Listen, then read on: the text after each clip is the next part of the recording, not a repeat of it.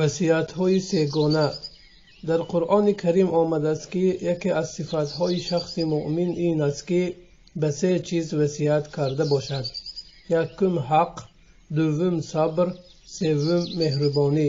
Ҳамчуноне ки аллоҳ субҳанаҳу ватаоло фармуд магар онон ки имон оварданд ва амалҳои шоиста карданд ва якдигарро ба дини ҳақ васият карданд ва якдигарро ба сабр васият карданд сури аср ояти се.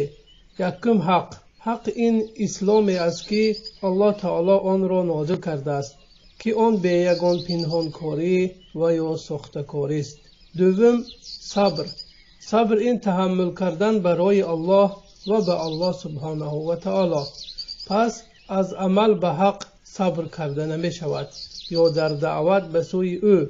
Агарчанде ёридиҳанда кам бошад аллоҳ субҳанаҳу ватаоло фармуд баъд аз он бояд аз касоне бошад ки имон оварданд ва якдигарро ба сабр васият карданд ва якдигарро ба бахшоишу меҳрубонӣ васият карданд.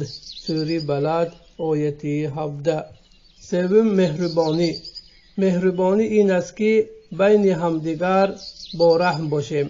Пас баъзеи мо ба баъзеи дигар меҳрубон бошад то баъзеи мо ба баъзеи дигар ҳамчу даво бошем на сахтгиру таҳдидкунанда ва бало